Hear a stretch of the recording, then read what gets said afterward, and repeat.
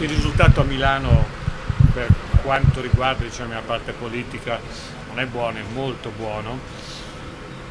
Eh, I partiti, se prendiamo il Senato per esempio, i partiti che, che mi supportano nella giunta sono al 55%, quindi io preso il 58%, siamo lì.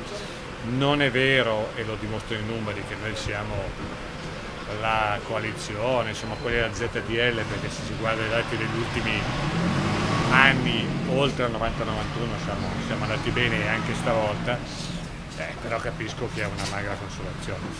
Adesso è il turno loro, eh, devono appunto fare, fare, il governo, su questo non, non c'è alcun dubbio, credo che già dalla decisione dei ministri capiremo anche un po' l'approccio. Che la giornata è brutta per noi ovviamente, quindi ripeto, ma è veramente andato un po' come, come ce l'aspettavamo. Bah, è abbastanza semplice però col senno di poi. Il PD era in quel mezzo in cui diciamo così, non, ave, non era a sinistra avendo rinunciato al, al rapporto con i 5 Stelle che hanno fatto una politica di sinistra, non aveva dall'altra parte Renzi e Calenda e alla fine è rimasto un po' da solo. Diciamo che, no, diciamo che, come vedete come in politica poi alla fine il timing delle elezioni è fondamentale.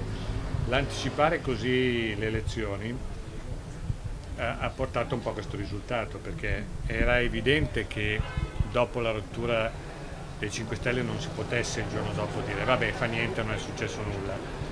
Ehm, e quindi si è arrivato in maniera naturale a questo. Il timing è importante, infatti adesso in questo dibattito interno del PD io da un lato spero veramente che non si riduca a chi sarà il prossimo segretario, se no siamo appunto a capo. Ma io non mi auguro niente, mi auguro veramente che ci sia una riflessione, una riflessione sul futuro del centro-sinistra che vada anche un po' al di là delle sigle, insomma alla fine non ci, obiettivamente queste campagne elettorali hanno quasi dimostrato che non ci si intende su, su quasi niente, che non va bene. Eh, e che parlare di diritti è troppo poco, oggi parleremo di diritti, ma per cui ci vuole, ci vuole di più, ci vuole tempo, la fregatura è un po' quella, ci vuole tempo e abbiamo le leggi, dopo in Italia si vota sempre. Ma io non mi auguro niente, mi auguro veramente che ci sia una riflessione, una riflessione sul futuro del centro-sinistra che vada anche un po' al di là delle sigle, insomma alla fine non ci, obiettivamente queste campagne elettorali hanno quasi dimostrato che non ci si intende su, su quasi niente, che non va bene e, e che parlare di diritti è troppo poco, oggi parleremo di diritti, ma per cui ci vuole, ci vuole di più, ci vuole tempo. La fregatura è un po' quella, ci vuole tempo e abbiamo le leggi, dopo in Italia si vota sempre. Al prossimo segretario del PD, volendo, lei consiglierebbe di puntare su un'alleanza col terzo polo con i 5 Stelle, perché sono due linee politiche piuttosto diverse. Vedi, se riparti dalle, dalle sigle è chiaro che sono linee, linee politiche diverse, però la fatica di cercare di tenere insieme tutti alla fine premia.